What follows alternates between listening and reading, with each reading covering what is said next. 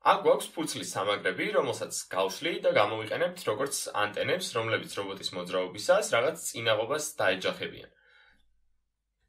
სამაგრის ერთი მხარე სწორი იქნება, რათა ის რობოტზე დავამაგროთ და ახლა ბერკეტზე დავადოთ სამაგრი და მასზე მოვათავსოთ ცხელი წებო.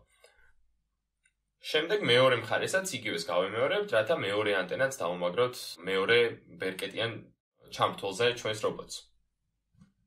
არა უშავს თუ ზედმეტი წებო გადმოვა, რადგან შემდეგ შეგვიძლია ზედმეტი ნაწილი მოვაჭრათ, მაგრამ მნიშვნელოვანია რომ ანტენა გამაგრდეს და შეგვიძლია ვნახოთ რომ ის მუშაობს. შესაძლოა ის მოუხაროთ და სხვა ფორმა მივცეთ, თუმცა ის ამ მდგომარეობაშიც იმუშავებს. ახლა შეგვიძლია დავიწყოთ საბოლოო კონტაქტის დაერთება, რომელიც LED ნათურებს ენერგიით მოამარაგებს. ამისთვის ამ ჩამრთვალს გამოვიყენებთ დენის ჩასართავ გამოსართავად. ეს კავშირი საკმაოდ რთული და გასაკავშირებელია, რადგან აუცილებელია, რომ ჩამრთველის კონტაქტები ერთმანეთს არ ეხებოდნენ. გონი უმჯობესია ის მოგვიანებით დავაწებოთ корпуსზე და მაგამდე უბრალოდ ტერმინალებზე დავაერთოთ ეს კონტაქტები.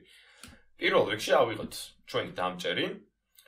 ჯერ დავაერთოთ აი ეს კონტაქტი სარჩილავით, სანამ მეორეს ჩამრთველთან დავაკავშირებთ. ახლა შეგიძლიათ ნახოთ, რომ ჩამრთველი ჩართულია და თვალები ანათებენ. მოდი გამოვთოთ და მეორე კაბელიც დავაერთოთ. ახლა корпуსზე შეგვიძლია მოვათავსოთ ცხელი წებო და ჩვენი ჩამრთველი Z დავადოთ. დაველოდოთ გაციებას და მას შემდეგ რაც წებო გაცივდება, ჩამრთვლის ქვედა ნაწილი, სადაც ტერმინალებია, დავფაროთ ცხელი წებოთი.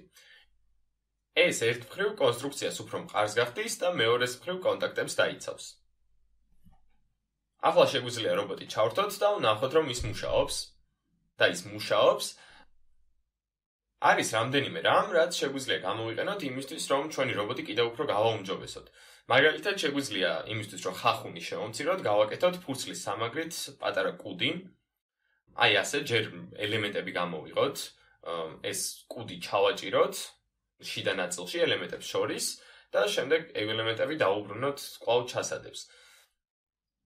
ასევე შეგვიძლია მოტორებზე, რომლებიც რობოტის ფეხებად გამოიყენება, შემოახვიოთ საიზოლაციო ლენტები, რომლებიც რობოტის ფეხების მოჭიდებას გაზრდის და შესაბამისად გაიზრდება რობოტის ფეხებსა და ზედაპირს შორის ხახუნი და მას უფრო მარტივად შეიძლება გადაადგილება.